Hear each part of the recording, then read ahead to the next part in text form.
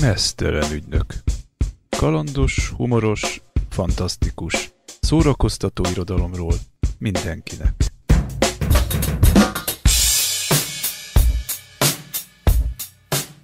Sziasztok, kedves Mesztelen ügynök szórakoztató irodalmi magazin hallgatók! A mai műsor a következőképpen fog kinézni.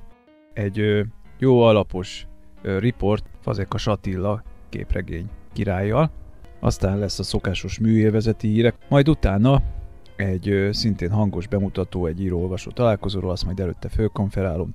Kalandos, humoros, fantasztikus, mindig ez a hármas jelszavunk, tehát minden általán választott riport, vagy éppen hangjáték máskor, mindegyik ezeknek a témáknak a mentén bontakozik ki, hát akkor most bontakozok én is. Kezdetnek ez a majd 30 perces riport, amit az Alexandra nyugati téri könyváruházában készítettem, a magyar képregény utolsó mohikánjával, Fazekas Attillával. Íme. Az én kedvenc műfajaimat, amik mind a kalandos irodalom kedvenc témái, a történelmit, a science fiction azokat mind te is kedveled, és annyira, hogy a, ugye az első önálló képregényed az történelmi témájú volt. Így van, eleve nagyon komoly affinitásom volt a történelem iránt.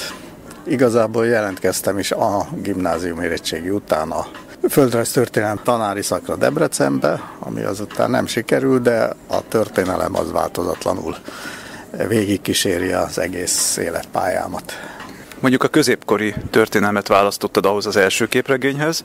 Újvári kaland, a Bottyán Jánosnak egy ifjúkori legendás csíntevése, fogalmazhatunk így is. Ha csíntevésnek nevezünk, hogy egy öreg papot lehajított a minaret erkéjéről, egy de hát abban az időben ez, ez diákcsínnek is számított, vagy legalábbis a végvári harcok idején ez egy elfogadott történet Elfogadott volt. móka volt lehajigálni. Nem sokkal azelőtt szegény Gellért püspököt is, de őt még ráadásul hordóban. Igen, őt, őt azért egy pár száz évvel előbb, igen.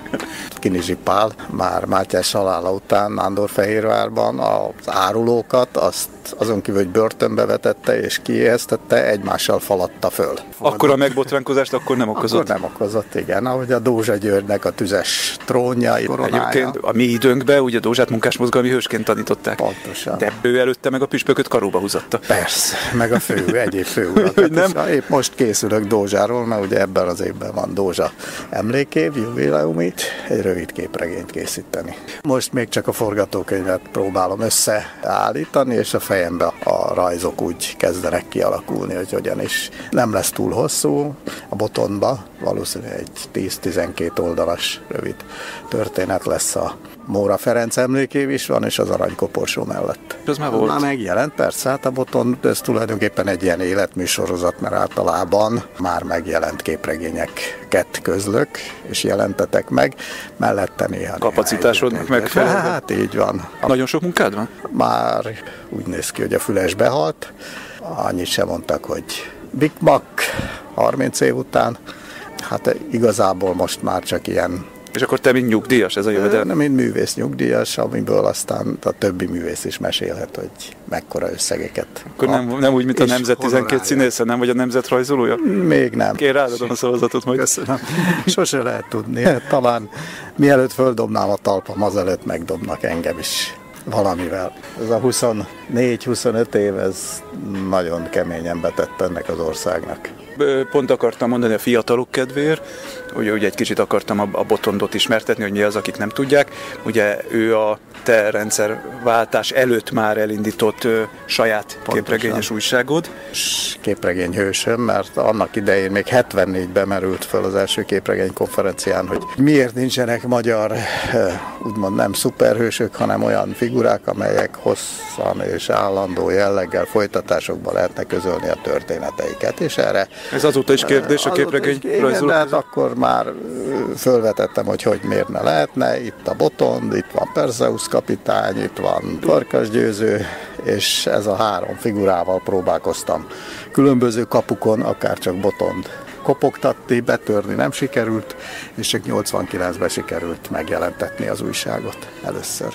Aztán a Botond úgy meghalt, aztán jött valami kiadó, de az is magadra hagyott, jó tudom? Nem, kiadóval kezdtem, utána átvettem, és 96-ban fejeztem be, szüneteltettem, és 2006-ban kezdtem újra De teljesen saját költségeden. Az első kivéve az saját költségemen volt az összes, és máig is. És akkor ez egy ilyen nullszaldós vállalkozás? Hát igen, így mondhatjuk, hogy nullszaldós. A megadott e-mail címen lehet jelentkezni, mint vásárló. De hát pillanatokon belül fölkerül a netre bármelyik képregény mindenféle beleegyezésem nélkül anélkül, hogy egy vasat is kapni. Akkor van ilyen képregény kiállítás, vagy bőrze, amelyeken te is meg szoktál jelenni, és akkor egyébként ott nagy közszeretetnek örvenc. Lehet, hogy beülsz egy sarokba, de mindenki, mindenki előre köszön, meg ott egy ilyen hát sarokköve vagy. Mint utolsó mohikán, ugye ifjú dártanyámból lett. Tehát minden képregényes tudja, hogy ki vagy te. Igen. Igazából én a skifit, a modern skifit nem szerettem rajzolni. Megcsináltam, de az nem olyan.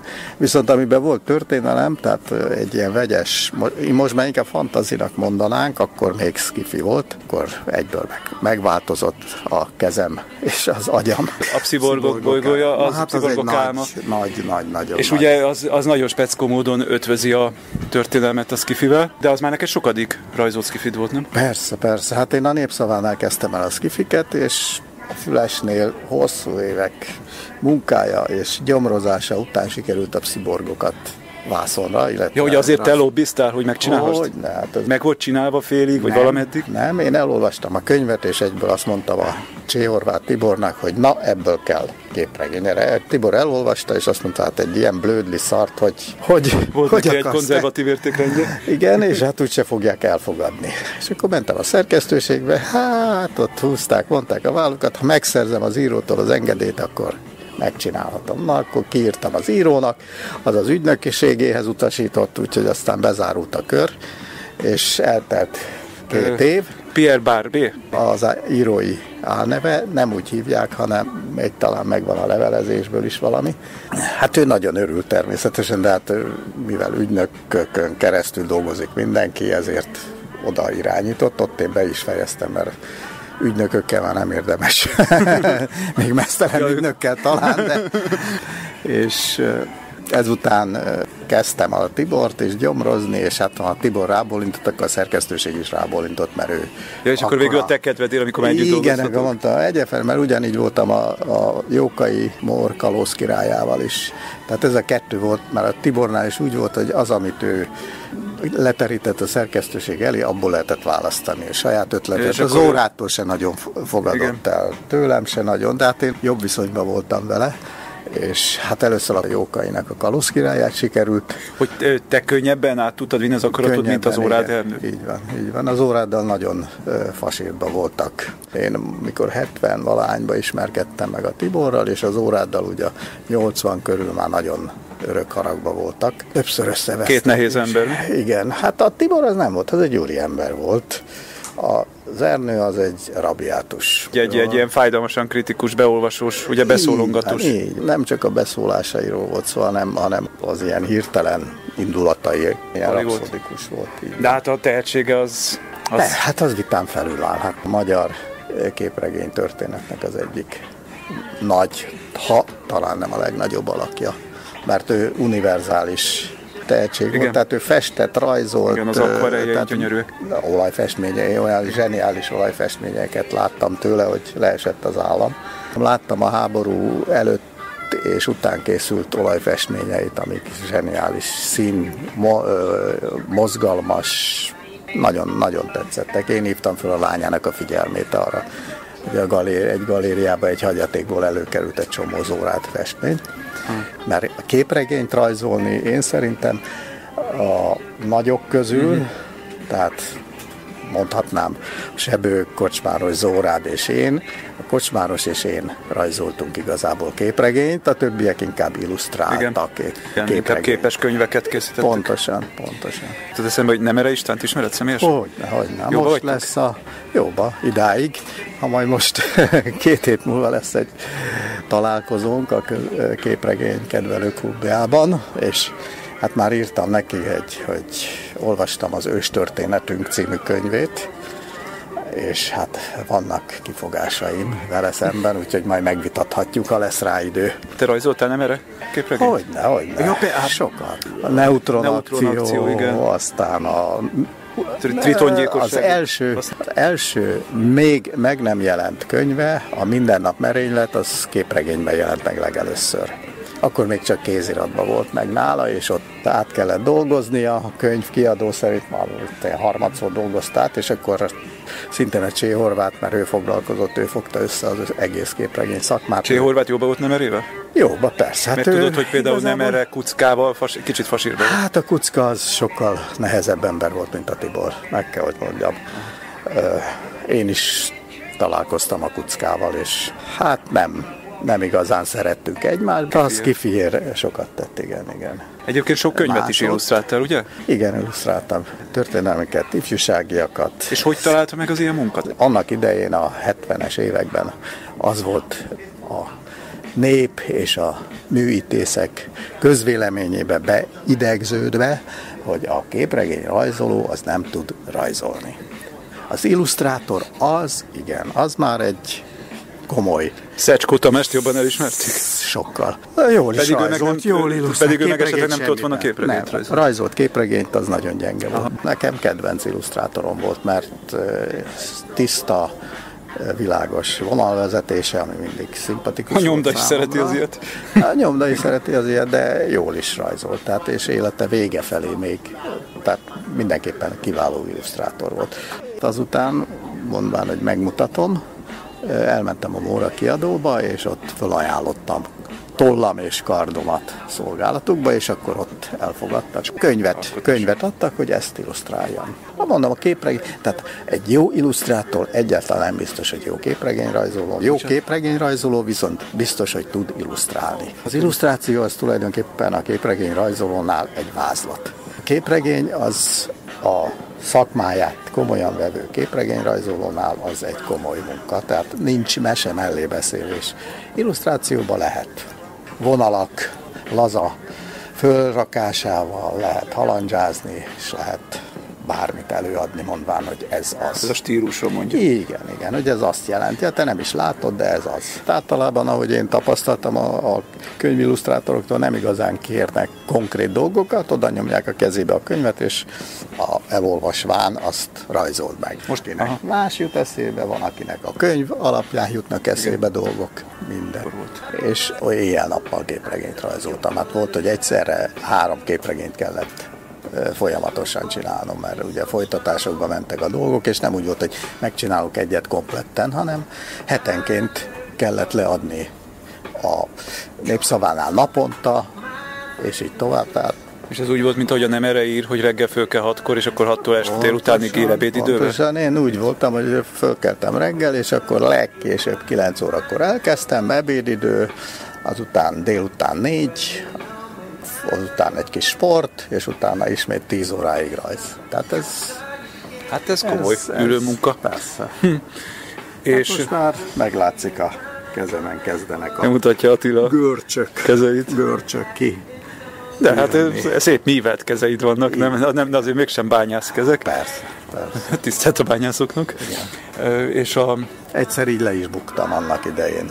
Hogy érted? A még középiskolás koromban Balatonon, ugye akkor rengeteg német meg külföldi leányzó volt a Balatonon, és hát mindenkinek hazudtunk össze-vissza, hogy mik vagyunk, és nem is tudom, hogy mit hazudtam, hogy, hogy hol dolgozom, és akkor a csaj kérte, hogy mutassa meg a kezemet, és ezzel lebuktam, hogy ilyen, ilyen kézzel nem lehet valaki fizikai Na, hogy örült volna neki, és mondta, hogy ezek nőgyógyászújak, mert keze van. Ilyen is volt, hogy már egy nő meg, megkérdezte, hogy nem nőgyógyász vagyok. Perzeus kapitány. Perzeus ja, hogy az előbb már egy kicsit Barbie, kifiztünk. A Barbie regény, ugye az volt a pszüborgok álmai, na most az nagyon jót tett a, a képregénynek, hogy ekkora átfutási ideje volt mert én közben készültem, mert én tudtam, hogy ezt, ha törik akármi, ha akkor is meg fogom csinálni, és már előtte beleástam magam a szecesszióba, beleástam magam a, a forrásokba, hogy mit lehet, hogyan lehet. Ja, hogy ugyanolyan komoly kutatómunka van, mint egy írónak. Az első tíz év az, az annak a legszebb része mindig a kutatómunka. Hát a fáraónál, amikor beleástam magam az egyiptomi szobrok, rajzok, ö, tömegébe, és annak a hangulatát átvette az ember, tehát mm, akkor minden egyes ilyen képregénynél először a könyvelolvasása, utána, utána olvasása a forrásoknak a történetet. Könyvtárba járták? Hogy? De Széchenyi könyvtár, a, a Szabó Ervin könyvtár. Tehát, tehát Neked ez... már tudták a könyvtáros kisasszonyok, hogy mit kell adni, mit keresek? Például, de nem csak azt, hanem például a Fülestől kaptam olyan papírt, hogy olyan könyveket is megnézhettem, ami az átlagember számára tiltott volt, úgymond. Értem, hát akkor inkább ilyen kicsit protekcionista módon ment. Az persze, az mindenképpen, de csak ki, ezekről az úgynevezett tiltott könyveknél, tehát a normál könyveknél semmi akadálya nem volt annak, hogy csináljam. Na, visszatérve a skifire, ugye ez nagyon jót tett neki, mert amikor elkészült, az tényleg az szerintem egy áttörés volt a magyar képregény szakmában. És akkor te is azért szeretted, mert ott igazán a fantáziádat dolgoztat. Ez, ez kedvenc könyvem. Tehát Már a absziborgok. Absziborgok, akárha én is írhattam volna, ha tudtam volna ilyen. Akkor fogadjunk, hogy a, például a kortás franciákat volt, volt a világűr Robinsonjai. Igen. Akkor ezeket Azt is, is kedvelted? Persze, akkor a majmok bolygóját nyilván. Hát, és ugye hát a film a, nek a Igen. befejezése az teljesen más, mint a könyv. Hála Istennek. A poén. Igen, ez biztos uh-huh. ott is volt ilyen jogok egyeztetése. Valószínű, hát a jogdíjak és a jog, jogoknak az átadása az mindig egy elég hosszadalmas történet. Na és ez át is vezet arra, hogy a Jedi képregényt ugye Igen. megrajzolhattad, hogy George Lucas-tól kaptál erre egy? Igen, hát nem, jogot? a következő a helyzet az, hogy a Lucas filmnek van egy európai képviselete, ez a Senswit nevű úriember tartotta kezében ezeket a klub szinten, a klubhálózatnak a működését és a szervezését, illetve a kapcsolattartást, és általa sikerült ezt a Jedit, Jedinek a megrajzolását engedélyeztetni, tehát így bólintott rá a Lucasfilm arra, hogy itt klub szinten, tehát korlátozott példányszámba meg lehet rajzolni ez hatalmas levelezés után? A Bartaszoli, aki a Star Wars Clubnak a vezetője, az ah. évekig levelezett ez ügyben, tehát mikor bejelentette, hogy, illetve bejelentettük, mert először, amikor meghívtak, akkor hogy megpróbálkozunk a Jedivel, ez kb. három vagy négy éven keresztül ment, hogy levél addig egy ide, kockát rajzoltál ebből? Addig. Hát igazából én azt mondtam, Mondjuk benne lesz, volt a kezedbe az előző képregények meg miatt? tudom rajzolni, de azért előre, előre egy-két vázlat volt. Tulajdonképpen igazából sok rajz nem volt. És akkor megkaptad az, az engedélyt, akkor szólt neked a Star Wars Club elnöke? Akkor már rendszeres vendég voltam a Star Wars Club összejöveteleken. Megkaptuk a levelet. De ez a, ez a George Lucas látta előző munkáidat? Nem hiszem, hogy elküldték, de az én munkáim kint vannak Amerikában, tehát föl Biztos, hogy ismerik. Mert Tehát biztos, hogy ő, ő ezt meg is nézte, vagy igen. Az, az száz százalék, mert, vagy persze, száz százalék, mert azt mondta is az Oli, hogy másnak, tehát egyéb rajzolónak nem nagyon adták volna ezt oda. Tehát ez, hogy én már egyszer megcsináltam, és verték ezeket a csillagok háborúja, meg a birodalom visszavág füzeteket. De egyébként alapján. annak idején a 80-as években ez ugyanolyan kalózjogos jogokkal ment? Pontosan, hát újvidéken bukott le a Csehorvát Tibor ezzel, mikor árult a csillagok háborúját, mert ő volt a fő exportőre a magyar képregénynek, és ott összefutott a Marvel képviselőjével, és akkor azt, hogy hát mi ez, és megkeresték az ifjúsági lapkiadót, hogy Irgumburgum, ennye Persze abban az időben nálunk az volt a szerzői jog, hogy amennyiben egy bizonyos műfajt más műfajba átteszünk, tehát filmet rajzba, képregény, azért nem kell jogdíjat fizetni. Ez volt a magyar törvény, ezt én, ennek én is utána néztem. Annak idején Delmediko Imre mondta, hogy hát le vannak szarva. Hát persze nem úgy nyugaton, ahol műanyag figuráktól kezdve minden jogot De hát mondjuk ennek ellenére azért ez elég komoly nem kérés, hanem figyelemfelhívás volt, és leültek tárgyalni, és megegyeztek abban, hogy jó, rendben van, ez elmegy, egyszer megjelenhet, továbbiakban nincs folytatás, viszont vegyünk tőlük egy csomó jogokat. képregényt. Ja. És ők azt ingyen ide adják természetesen, ugye a beeltetés már akkor megkezdődött, és persze az ugye hát nálunk mi van, ugye jó, megkapjuk, de aztán nem közöljük.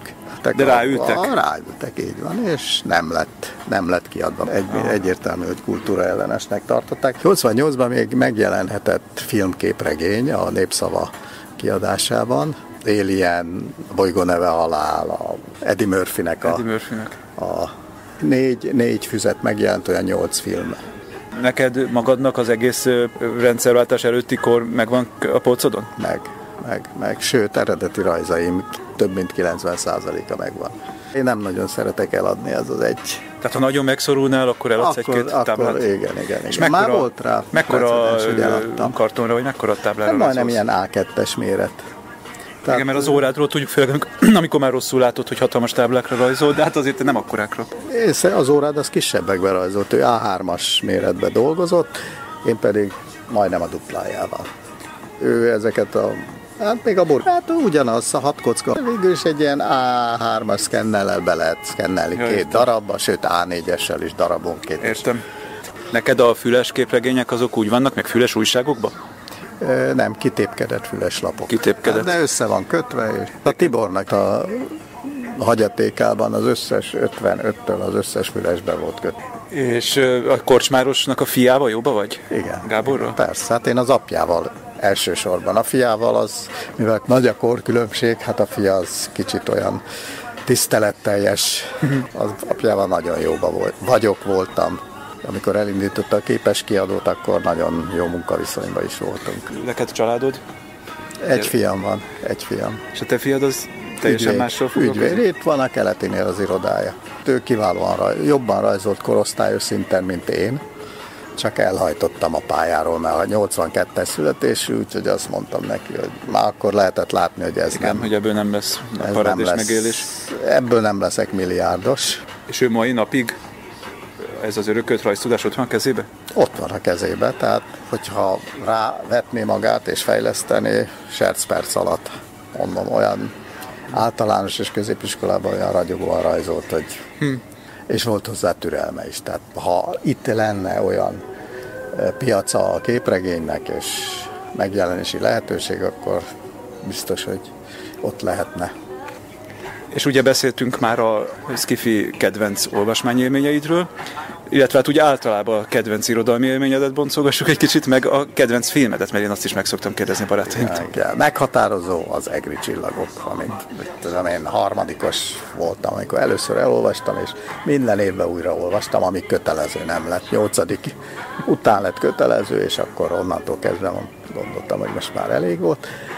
És általában történelem, történelmi könyveket, és mostanában újra olvasom őket, és a másik pedig a Dékány András matrózok, hajók, kapitányok, ami alapján határoztam el, hogy én belőlem a hatodik haszakadt hajós kapitány lesz, ami nem lett, szerencsére, de jártam tengeren, vitorláztam, és úgyhogy vitorlás hajón van, és vit- Te egyébként voltál több alkalommal a tengeren? Voltam. Hát volt egy, a, a, igazán a, a nagy út az 82-ben volt, amikor Várnából mentünk át az Adriára, bárki kötőjébe, az egy olyan majdnem egy hónapos út vitorlázó volt. Volt egy igazi hosszú járatú kapitány, Cselei Lászlónak hívták, négyen voltunk egy 31 lábas hajón, Tyú, az jó. ahol akkora van nekem is, és hát amivel föld körül mentek a fanándiék először, Na, ugye- akkor a vitorláson van. Balcsin? A Balatonon, igen. Minden nyáron, két hónapot. Ja, te úgy töltöd a szabit? Hajón? Persze, én a, te, ott a szabadságomat, ráadásul minél És a hajón is rajzolsz? a- Nem. Az egy más. Az más. De jogos a Akkor kérdés. az jogos a kérdés, de ott felesleges. Az, az egy teljesen más életforma. Nincs is igazából kedve az embernek. Mondjuk, mert a, mondjuk nincs milyen, meg a milyen környezet. pszichodelikus műveket rajzolhatna egy balatoni vihar alatt, amikor rángatol. Persze. Lehetne. Ahhoz, hogy az ember dolgozzon, ahhoz megfelelő környezet, megszokott dolgok, tudjam, hogy mi hol van, tehát Film? A filmek szintén ilyen kedvenc, szintén konzervatív. Ugye kezdjem a Gábor diákkal és a Rákóczi Annanyával. Ugye két klasszikus magyar film. Te abszolút történelmi Abszolút vonzáskörben így van. Tehát mondjuk a fan, a Skifire visszatérve, hát nekem a, a alapítvány és birodalom. Asimov. Na hát az a kedvencem. Tehát az számomra... Hát a klasszikus skifi értékrend. Akkor te is, Number one. te is a skifi ABC-t, vagy sci-fi ABC-t akkor vágod, Asimov, Bradbury, C. Clarke. Hát Bradbury nem annyira tetszett, főleg amikor megjelent. Ez bírom, ez nagyon jó, nem. hogy a fantasztikus kedvelőket megossza egy kicsit. Van, aki Bradbury bártya, van, aki Asimov. Asimov az egyértelmű. Hát a Bradbury az elismerem az értékeit, de igazából nem kedvelem. Aha. De hát Asimovot az bármikor leülök, akármiről ír. Aha. Uh-huh. És oda megyünk még a hogy ugye itt van például a te Hunyadi képregényed. Erről például erről a képregényről, mert ezt most itt nézzük az ő maga fizikai valójában, őről mit lehet tudni, hogy ki keresett meg vele? Ezzel kapcsolatban, hát én a Bán Janival, ugye mert ő a írói elneve a Mór, már több éve kapcsolatban voltam, ő keresett meg, amikor a Bács megyei Petőfi népe helyettes főszerkesztője volt, interjú kapcsán, és az első, ő is hasonló rokon lélek, mint én, mert az interjúnak a címe az volt, hogy Attila nem lesz szuperhős. És ez nem én, hanem a Attila a Hun. Ugye, mert volt egy olyan felkérés, a dr. Jenő volt a Szemik ennek a vezetője, hogy amikor volt a még 90 valahányban Attilának a rockopera is elkészült, az Attila rockopera, hogy készítse már képregénybe a Attillát, de úgy kellene elkészíteni, mint az amerikai szuperhős képregényeket. És erre mondtam, hát hogy gondolja, úgyhogy Attila beront itt az ajtón ki, ki szép pár karokkal, szájába tör, meg kart, és barbárkodik véresen. Vicsorog, mint Conan a barbár. Hát, hát mondom, ezt nem.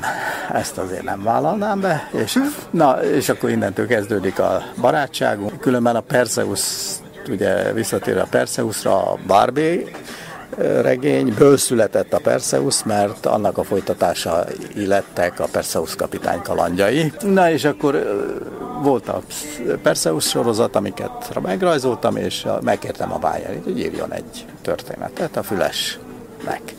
Két komoly Perseus történetet ír, de ez is inkább fantazi, tehát történelmi.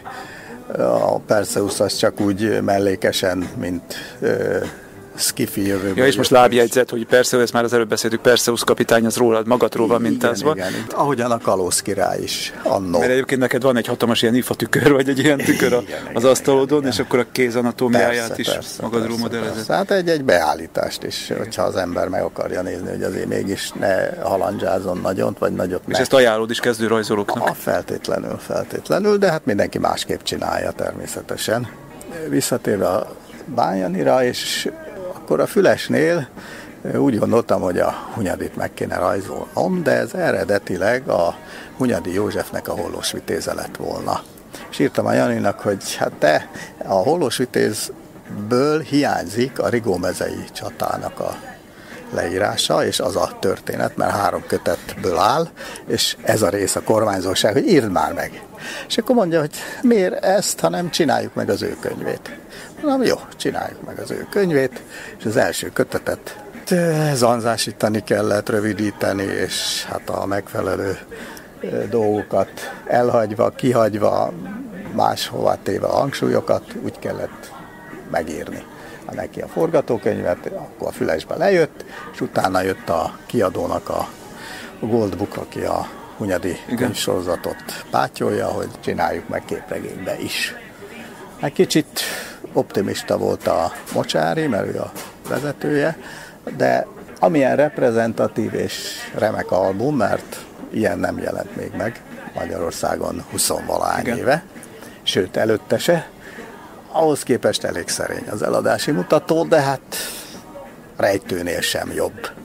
Az a probléma a Bányani szerint, hogy nem a könyv mellé teszik le. Mert a könyv az igazából Értem. sikeresebb. Ide már csak a nagyon vágyszeműek jutnak el. Mm, és hát meg az, hogy képregény, az még mindig egy olyan, hogy ah, olyan, olyan jó képregény. Na most, de én most megveszem, mert szeretném veled dedikáltatni. Igen, nagyon jó. Legalább egyet több vagy.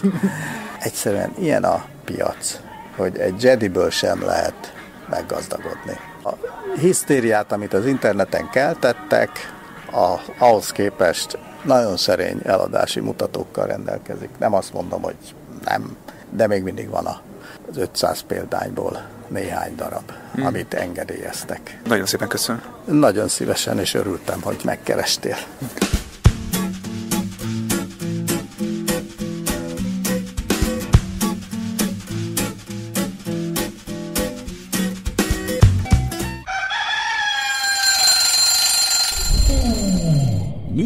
Műélvezeti hírek. Könyvmegjelenés. Kiállítás. Film, színház. Műélvezés.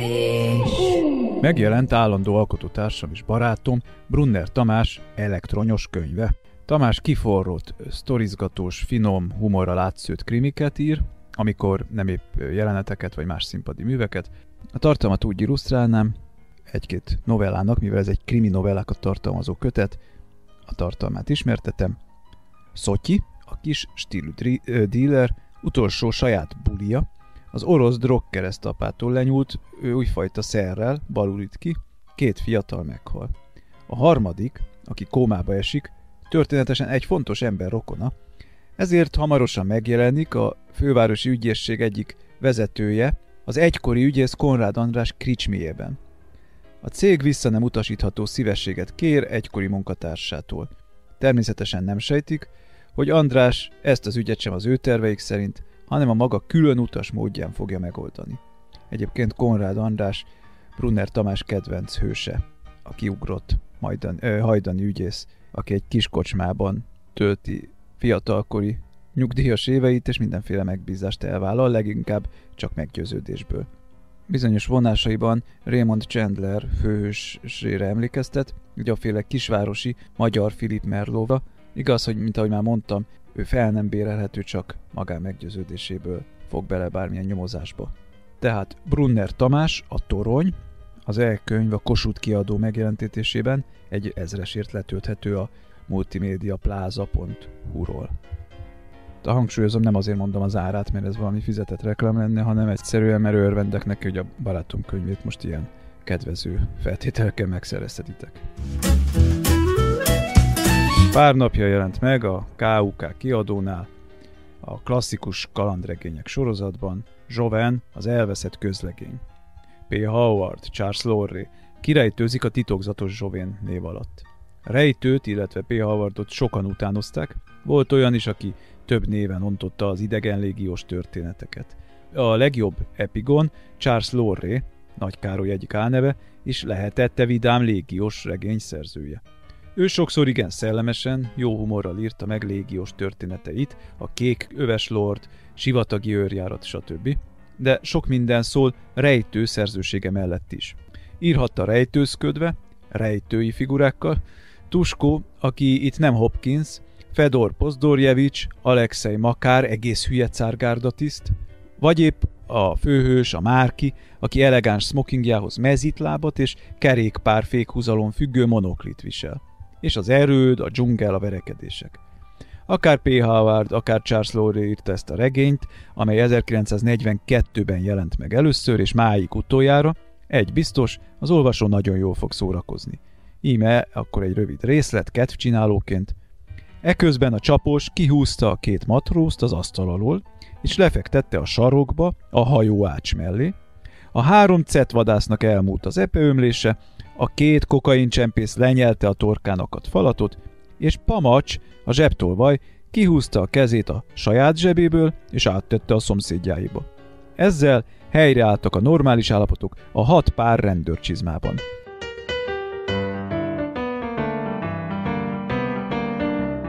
Kettő, az én érdeklődésemet felkeltő film jön premierként ezen a héten a mozikba, az egyik a George Clooney által megrendezett Star parádi, a műkincsvadászok, ez egy második világháborús kalandfilm, mindenképpen izgalma, izgalmasnak ígérkezik, tehát megnézős.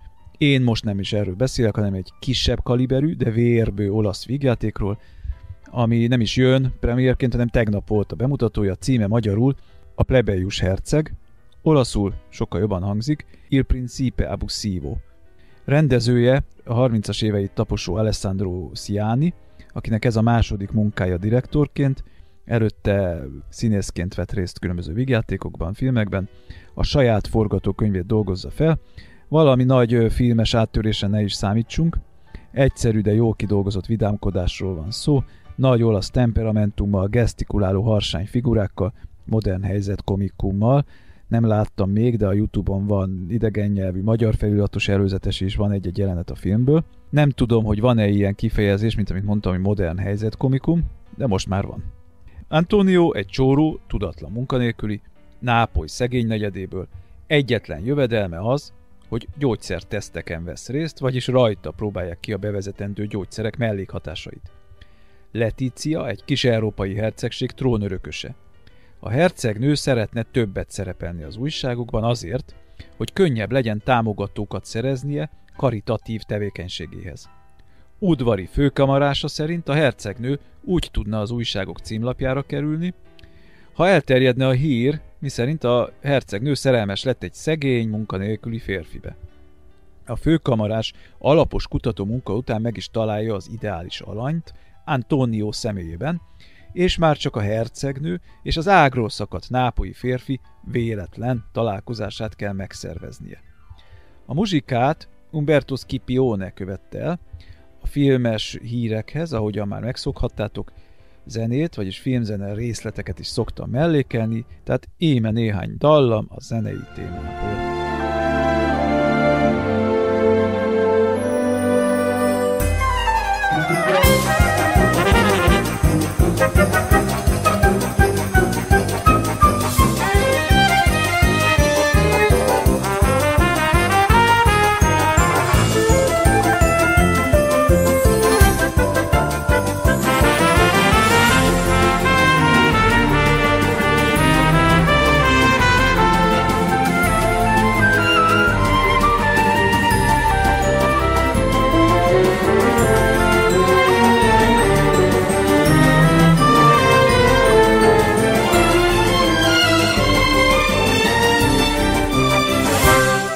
múlt héten a Ferencvárosi Művelési Házban a József Attila Irodalmi Szalon újabb estje volt, Losonci Attila moderálásával, Losonci Attila maga is írótárs. A Lektor magazint mutattuk be mi meghívott alkotók. A Lektor magazin egyébként egy folyóirat, igényes könyvirodalma foglalkozik, természetesen, hogy beszámoltam már róla, hisz én magam is alkotója vagyok. Ebben műítészkedések, filmkritikák, riportok, skifi, fantasy és egyéb novellák és versek jelennek meg. Hertelendi Anna a megálmodója főszerkesztője, és a párja Mészáros András is nagy erőkkel részt vesz ebben. Együtt működtetik a Spirit Art Egyesületet, amelynek a honlapjáról ingyenesen letölthető tehát a Lektor magazin. Egy másik kötet is kapcsolódott ehhez a bemutatóhoz, az imént említett Mészáros András, a Farkas Álma című novellás kötete, ugyanis ez a Spirit Art első önálló kötete. Természetesen megvágva hallgathatjátok, hiszen vagy két órát ülnököltünk ott, de ez ennél jóval rövidebb, de lényegre törő hanganyag íme. A jelenlévő Spirit Art Irodalmi és Művészeti Egyesület ők egy olyan fiatal, dinamikus csapat, akik maradandót próbálnak alkotni. Az Egyesületnél talán tudunk anyagi támogatást is szerezni, ugyanis azt ne felejtsük el, hogy a piac nagy mértékben profitorientált. Ezt, ezt mindannyian tudjuk, azokat a műveket, amiről nem feltétlenül feltételezik a kiadók, hogy ez számukra pénzt profitot hoz, azokat háttérbe szorítják, illetve a fősodorból kiszorulnak alkotások, amik színvonalasak, jók, és szerintünk a fősodor is kezd egy nagyon rossz irányba elkanyarodni. Nem látjuk már azt a színvonalat a legtöbb helyen, mint ahogy régen tapasztaltunk, vagy régen sem tapasztaltunk, de szerettünk volna tapasztalni, vagy legalábbis reménykedtünk. Mi egy kicsit próbálunk erősíteni a felső középkategóriás részén ennek a dolognak, reméljük. És miben vagytok mások, mint a többi irodalmi egyesület? Szép irodalom, a hagyományos szép irodalom mellett helyet adtok az úgynevezett spekulatív irodalomnak. Sok egyesület működik, és sok egyesület jól működik, vagy rosszul működik kulturális téren. Nem akarjuk definiálni magunkat ide vagy oda, a művészet, ahogy mi látjuk, és úgy szeretnénk, ahogy mi szeretnénk látni. Innen a névválasztás is, hogy spirit art, művészet szelleme. Igen, innen van meg egy igen hosszú esti beszélgetésből, már azt tudtuk, hogy egyesület lesz ezelőtt három évvel is. Mellettem ül Cinkócé Krisztina, az egyesület titkára. Hamarosan neked is megjelenik egy antológiád, az Átjárók címmel. Az Egyesületnek ez egy fontos feladata, hogy teret biztosítsunk a ma íróinak, a kortárs íróknak. Mégpedig ne úgy, hogy pénzes kiadókhoz kelljen menniük, vagy korrekció nélkül adják ki őket, vagy minőségromlással adják ki őket, elvesztenek a piacon, becsapják őket, hanem hogyha megütik azt a mércét, azt a minőséget, azt az életszemléletet, amit mi is vallunk, akkor megkapják a lehetőséget, hogy nálunk díjmentesen, esetleg ha támogatókat találunk, akár még koronárium ellenébe is, mint régi szép időkben, kiadásra kerülhessenek, és hát ugye egy kötet már meg is jelent, Mészáros Andrásé, Farkas Álma című, Amennyire ismertek vagyunk, merem azt állítani, hogy siker volt az elektronikus kiadóknál már letölthető, akinek van ilyen olvasója, illetve aki nyomtatott formában szeretné, azoknak tudjuk. A nagy terjesztésben, hát ott tudjuk, ahogy a példányokat is tehát mondják, ugye ezer példány alatt nem fog bekerülni a nagy terjesztésbe, akkor egy Google nevű cég, az se kicsi, tehát ő egy Google könyvekbe előbb-utóbb be fog jönni. Most megmondom az elektronikus formátum. Körül kell nézni a buszon. Mindenki olvas ő valamit, ilyen-olyan eszközöket. Úgyhogy előbb-utóbb ugyanúgy, mint a körülöttünk lévő országokban, maga a szöveg, maga az érték, nem a papír az érték, szép, jó, hogyha van egy, az embernek egy könyve, könyv a kezében, de maga a tartalom szerintem az, ami fontos mindig. És hogy minél több emberhez eljusson. Van a közönség soraiban olyan itt most, aki már ugye régóta ezt az elektronikus formátumot választotta, konkrétan Anta Józsira gondolok, akinek ő így nyert Zsoldos díjat az Ideal című regénye. Az is egy pici áttörés, tehát egy kicsi áttörés. Én azért említettem meg most, és azért tartottam ezt fontosnak, hogy egy pici áttörés, és kicsi áttörésekkel jutunk oda, hogy végül a tartalmat tudjuk előtérbe helyezni a formával szemben.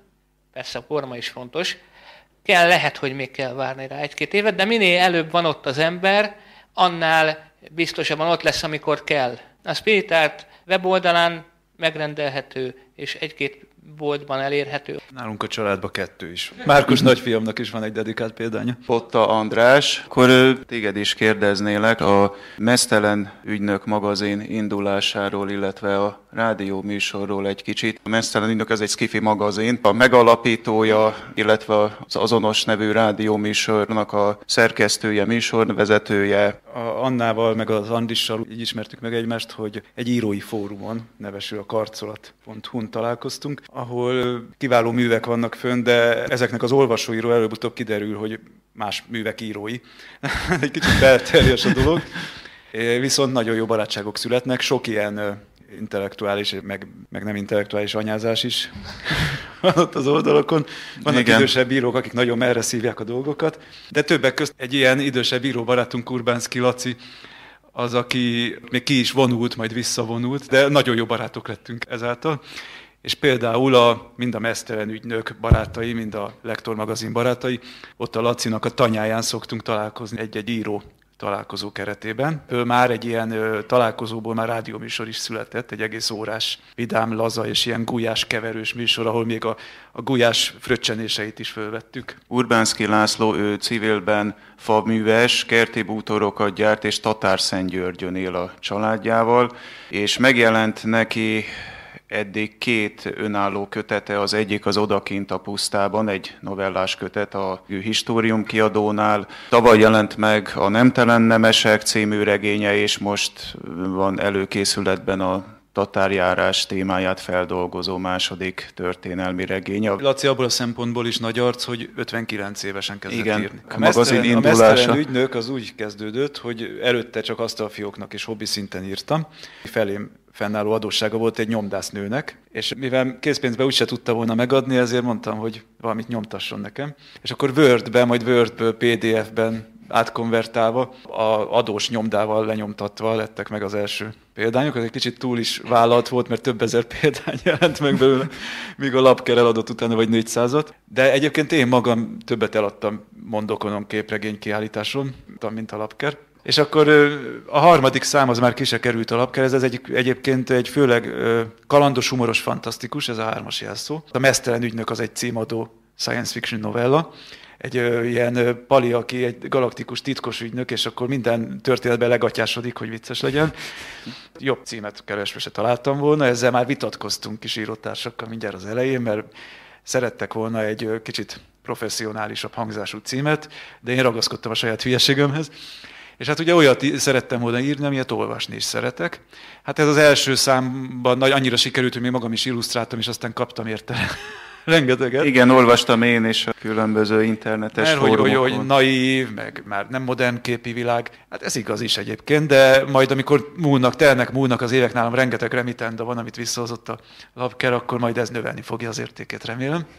A második szám az, az sokak szerint még csúnyább lett, nem is nagyon értették a képi humoromat, ugyanakkor az írások azok ebből a körből kerültek ki például Andis keze alól, vagy Bukros Zsolt. A harmadik szám már csak ilyen fanfictionként került azokhoz, akik írták meg, akik kérték. Én elkezdtem rádiózni, mert a Gutenberg galaxist azért nem elhagyva, mert most is szerkesztés alatt van egy, egy humoros jeleneteket tartalmazó könyv, és a rádiózást meg azért találtam ki, mert szerettem volna szólni több emberhez, mint akit a magazinnal elérek. Civil rádióba pedig örömmel kapkodtak értem. És akkor oda most már hangjátékokat gyártunk, egy ilyen színpadot is látott emberekkel, jövünk össze egy ilyen közösségbe, hangjátékgyártó közösségbe, és minden, amit ott leadunk, az ős bemutató.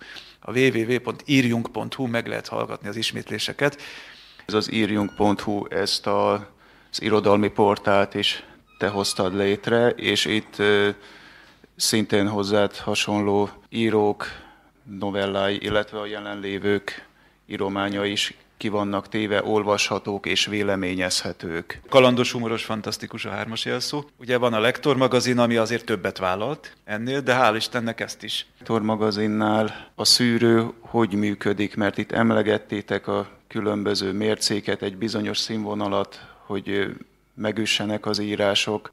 Mivel hogy a Lektor magazint a Spirit Art Egyesületnek a célkitűzései mentén hoztuk létre, ezért a kettő gyakorlatilag ugyanaz, tehát a, a színvonal és az elvárás. Ez, ez a közép kategóriának a felső.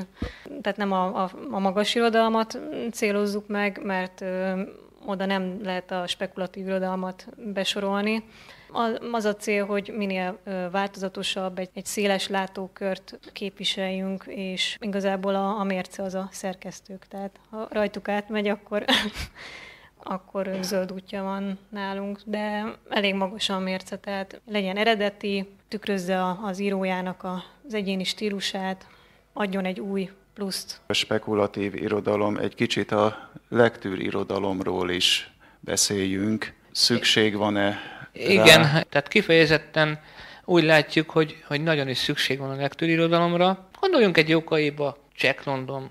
Nem lehet azt mondani, most már klasszikusként tanítják, de nem lehet azt mondani, hogy ő, hű, az a magas irodalom. Én azt mondom, hogy ők ugyanúgy a közép kategóriájának a felső részét csinálták.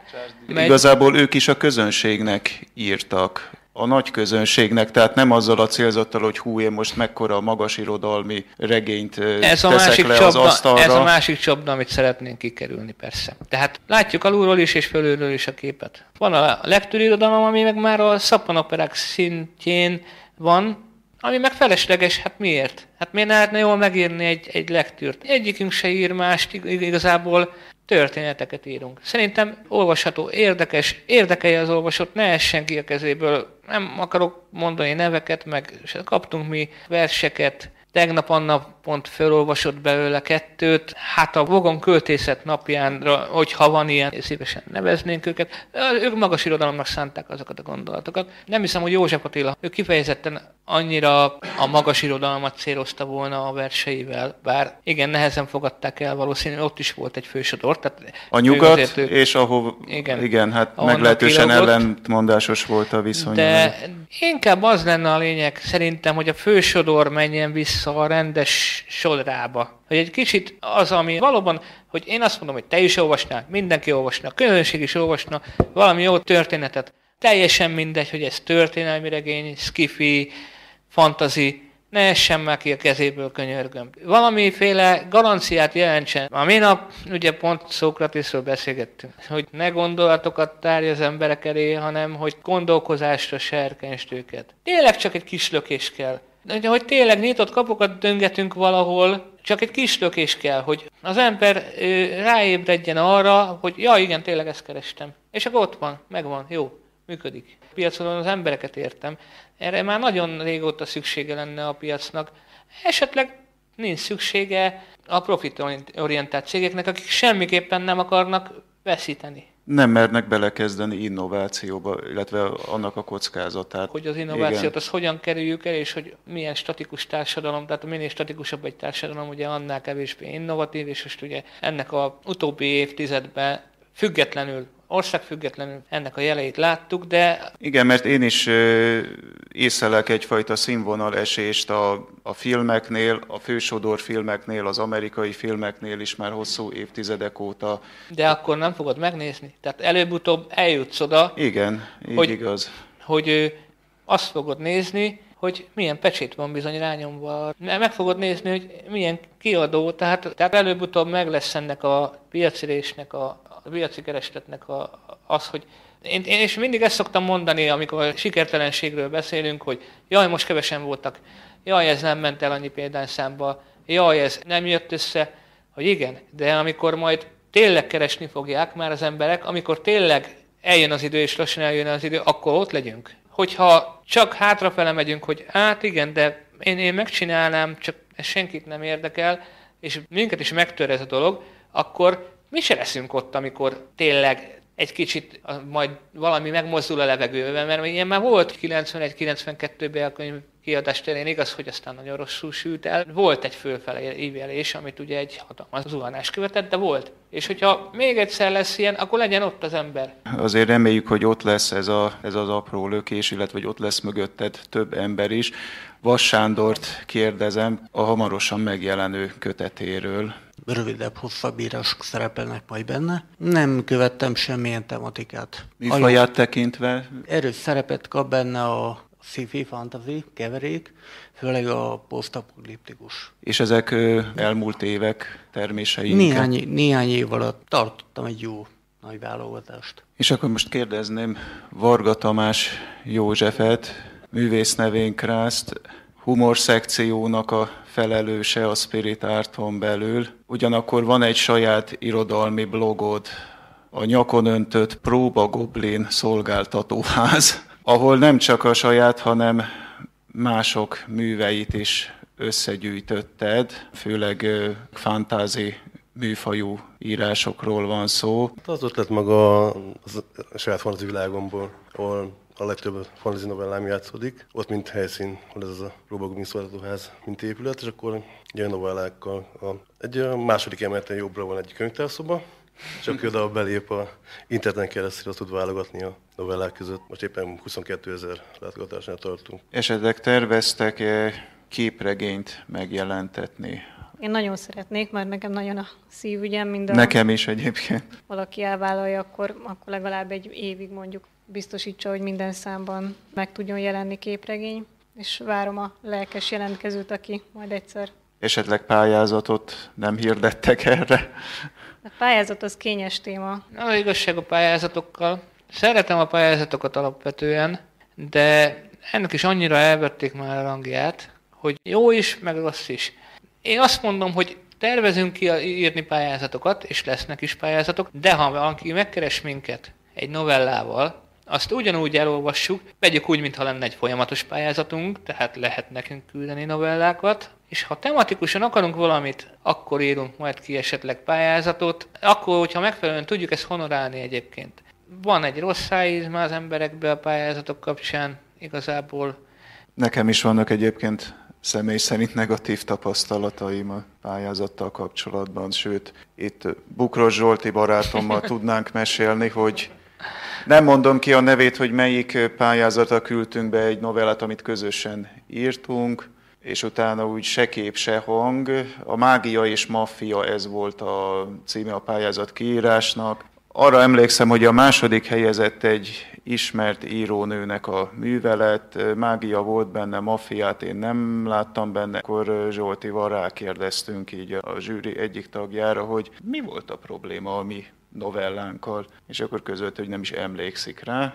Aztán ez a novella végül a Lidérc fényben jelent meg. Mi, mi sem magas irodalmat akartunk létrehozni, a jamaikai nyalóka, ez volt, ez volt a címe a novellának. Maga az egyesületi forma az nem egy túl rugalmas dolog. Az ő, sok szabad gondolkodónak összejön, és elkezd mindenki, lehet, hogy egyre gondolnak, de nem találnak közös nyelvet, lehet, hogy ő, ellentétek vannak köztük. lehet, hogy az idő ellentétet szül, bizonyos dolgok ellentéteket szülnek köztük, ami nem probléma, mert van külön vélemény, de gyakorlatilag megbénul maga az Egyesület egy idő múlva. És ezt próbáljuk kikerülni. Próbálunk Egyesületként is rugalmasnak maradni. Mindig, mindig az új benyomásokra, az új helyzetre reagálni időben. Pályázatokról még hagyd mondjak annyit, hogy szerintem pályáztatni kell egyébként, mert mindig aktív szociális életet kell élni, de minket arra szocializáltak a lezsírozott pályázatok ugye a rendszerváltás óta, nagyon röviden, volt az a világkiállítás, amikor úgy volt, hogy megtartjuk, és annak a kabala figurájára volt egy pályázat. És akkor én még naponta rajzoltam, és meg is csináltam a kiírás szerint, vagy nyolc táblát, meg 3D-ben is megcsináltam egy ugyan, szinte ugyanolyan pulit, mint ami nyert. És a kiállításon vettem észre, mert az volt az egyik ígérvény, hogy ott ki lesz állítva majd a Vigadóba, és nagy pénzjutalom volt akkor megígérve. És a kiállításon vettem észre, hogy sehol nincs az én pályaművem, tehát nem olyan nyertesek között, és képzeljétek, visszakaptam ugyanazzal a lezárt borítékkal. Tehát az annyira le volt zsírozva, hogy... Még ahhoz sem vették a fáradtságot, hogy... De reklamáltam, és akkor bocsánatot kértek telefonon, de visszaadták. Tehát az engem mondjuk tíz évre elriasztott mindenféle pályázattól. De pont amikor mondod, hogy ott kell lenni, hogy ugyanúgy a pályáztatók között is szerintem ott kell lenni. Igen, én is még abból a rendszerből jöttem, amikor ugye az ember beküldte a e Queen-nek a magnókazettát, és akkor ugye szóta egy idő múlva se kép, se hang, de ha nagyon rákérdezett az ember, akkor gyorsan szólt a Józsi bácsi az irodából, hogy Kizike, ne legyen már ez olyan ciki, itt a ceruzáddal pörgessél már bele abba a kazettába, mint hogyha meghallgattuk volna, és ugyanúgy kaptad vissza gyakorlatilag itt tényleg itt szocializálódtunk. Most ezt áttörni, ez egy nagyon-nagyon nehéz feladat lesz. Ezt most nem tűztük ki célul, hogy ezt mi csináljuk meg. Ezt mások megcsinálják, akkor mi annak nagyon örülünk. Sokan úgy vélik, hogy pályáztatni kell. Én szeretném, hogyha valóban ezek a falak is leomlanának, és tényleg működne, és tényleg hitele lenne ennek a dolognak. Egyelőre mi félünk tőle. Tehát vannak olyan dolgok, amitől félünk, én például a kígyoktól, tehát meg a pályázatoktól pályáztasson más egyesület, és legyen a jutalom a lektorba való megjelenés.